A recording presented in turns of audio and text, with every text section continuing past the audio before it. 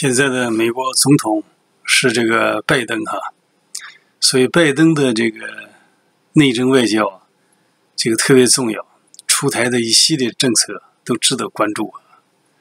那么前一段时间我们知道，在美国这个西雅图哈、波特兰都有这个数百名示威者上街游行示威啊，表达他们对拜登上台后呼吁团结的这个愤怒。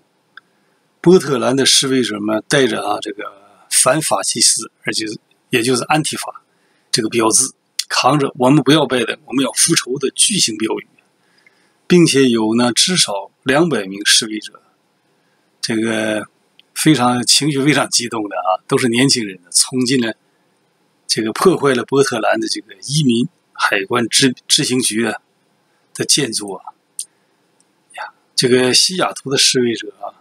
还破坏了无数的商家门面呢，其中包括星巴克这个创始店，还有的呢，到了这个这个民主党的办公的地点啊，网上都有很多这个这个录像啊，很多图片，那个情景就像经历了一场这个小型战争啊，那可见这个是明显的暴力活动啊，但是这个比较长的一段时间。没有听到拜登公开的表达这个意见啊！今天好消息来了，也就是拜登通过他的新闻发言人呢，第一次表态，就是西雅图波特兰左翼组织是煽动的是一场暴乱。这个消息非常重要啊！这个消息发表在《自由时报》今天海外这个网站转载的啊，海外万维网转载，也就通过这一个白宫新闻秘书叫。沙奇通过沙奇啊，他这个发表了这个消息啊。他周一在记者会上表示，美国总统拜登谴责民众在波特兰、西雅图示威抗议时暴力行动，也就是说，也就是说，所有的地方你凡是暴力都是犯法了。据这个叫福斯新闻记者他报道，在白宫的每日例行记者会上，沙奇啊，有人向沙奇提问，就是拜登总统。没成为总统之前呢，便谴责极左、极右分子引发的暴乱。为什么在他就职以后，我们还没有听到他对波特兰和西北太平洋沿岸所发生的暴力有明确的表示呢？这个问题的确是有代表性啊，我也挺关注。沙奇回答了，这一次很清晰。他说：“我在此替拜登总统表示，总统严正谴责暴力。”和平抗议是我们民主的基石啊！说砸窗、这个劫掠这个物品啊，这些东西啊，绝非抗议，这是行动，是不完全不能接受的。任何犯罪者都应当被起诉。这就等于说，一月六号冲击国会那个事儿，那是川粉为主的。这个像安提法，就是你即使支持拜登或者反对拜登都无所谓，都要定性为这个是犯罪行为啊！这一点。这是个非常重要的消息啊！这是今天看到的。另外还有一条消息啊，也就是现在这个整个美国啊，人事更迭已经有些着落了。特别是谁呢？一个非常重要的人物接掌国务国务卿啊，国务卿换了人了，现在已经是正式的啊任命了。任命不要经过这个美国的参议院高票通过啊，现在这个人已经通过了，就布林肯将正式接掌国务院。这是大佬啊，非常重要。这个人是这样的形象，给大家看看啊。这个长得是这样啊，比较清瘦。这个给大家介绍介绍这位政要。美国参议院是今天以这个投票的时候多数票啊通过了布林肯作为国务院的人事案呢，是第四位提名或批准的白宫内阁成员。因为内阁成员你提外一个人是参议院、众议院要讨论的。对吧？所以这个他上台之后，预料将兑现听证会期间的承诺，协助台湾自我防卫，扩大台湾的国际参与。那么参议院投票结果是多少呢？七十八票赞成，二十二票反对，通过了这个布林肯的这个任命。他是继国家情报总监海恩斯、国防部长奥斯汀，奥斯汀就是那位黑人啊，他已经通过了。财政部长耶伦。这是第四位提名或参与同意的总理，这个总统拜登的内阁官员呢。很重要，很重要啊！包括昨天财政部通过的叶伦呐，要想做生意，这个人的出台的政策那是必不可少要研究的啊。现年五十九岁的布林肯呐，外交资历丰富，他跟在拜登的身边二十年了。你想，拜登是四十七年公务员哈，老官场游子，他也是官场游子二十年，是拜登最贴身的幕僚之一。也就拜登为什么你看这个？动不动讲话还有时候这个打瞌睡啊，但是为什么民主党拥护他？因为他是个象征，他下边有人呢，打脱了这些小兄弟儿哈。说这个人呢，二零零九年拜登以副总统之之资首度进入白宫，那时候他是总统的奥巴马吧，他呢这个布林肯担任他的国安顾问长达四年，而后又出任国务副国务卿。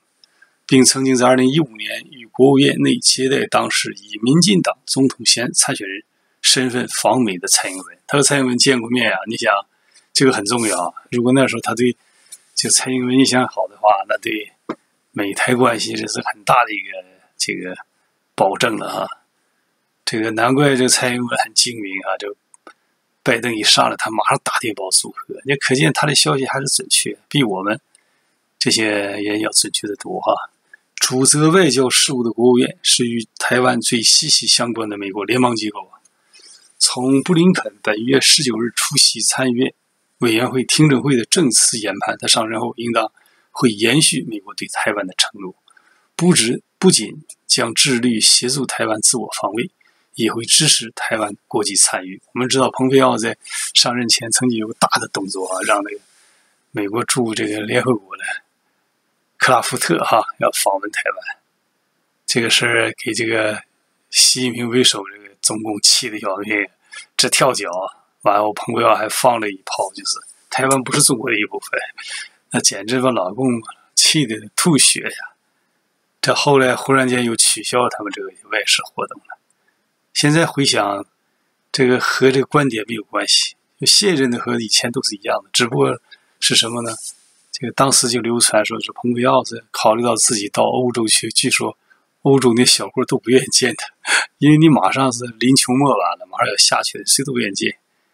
你要如果只取消这一个，说不好看了，面子只好我们俩这两个外事活动都一起停了算了，反正也没几天了，我估计是这样。所以说，这个布林肯这一次在这个。这个公开场合讲到了美国对台湾的承诺坚定，其长期跨越党派。你看，讲给中共听一听啊。列入台湾关系法及美中公报，而承诺的一部分就是确保台湾有能力抵抗外来侵略、自我防卫。他强调，拜登政府绝对会持续这些承诺，确保台湾有自卫、自我防卫能力。谈到台湾的国际参与。这个布林肯他也说了，他希望看到台湾在世界各地扮演更大的角色，包括在国际组织中。他说，在很多方面来说，这是个民主的典范，强健经济体与高科技重镇的这三个特点。一个是他是民主政治，在大陆最怕的不是什么态度，他他就是为了诋毁蔡英文他们，实际怕民主，因为中国老百姓去旅游看台湾挺好，人家新闻自由，动不动党就换了。能不能在大陆也推广，让习近平下去？习近平害怕是这个强劲、强健的经济，这一点不用讲了。你看人家台积电多厉害，人家这个经济发展多好，现在啊，而且防疫防的最好啊。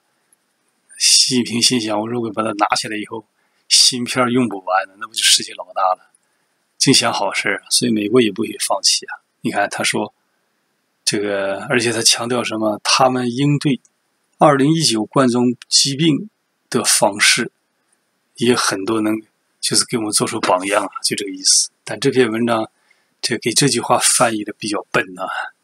疫情的方式也有很多能教我们的，哈，就是要想翻好，必须两种语言都很好。这个。这篇文章讲讲针对中国对台湾的武力威胁，有参议院在听证会上询问布林肯，如果中共犯台，是否会付出代价？他当时宣布，北京若这样做，会是一场严重的错误。习近平现在正在迈向这个错误的道路。习近平摩拳擦掌啊，带领这个这个这一班张又侠了、李作成这些人，现在都了不得了，要武统台湾。看看下一步真要干的话，你看碰成什么样？北京近年来加大压迫香港与新疆的力度啊。这个布林肯在听证会中也表示，并诚坦诚中国无疑是为美国利益带来最大挑战的国家，他也这样认定。布林肯最后说，他赞同前国务卿蓬佩奥将中国对新疆维吾尔族的打压认定为种族灭绝。他也批评中国在香港实施国安法，压制媒体与港人言论、集会自由，并表示希望美国能能够收容部分必须逃离香港的民族抗争抗争者。你看，他在这方面人权呐、施压呀、民主这些问题上没有什么分歧，所以习近平也不要存在幻想。如果一旦就是说真是在台海比试比试的话，将招致共产集权统治的终结。那么今天的海外其他节目到此结束，非常感谢广大网友的收看，谢谢再见。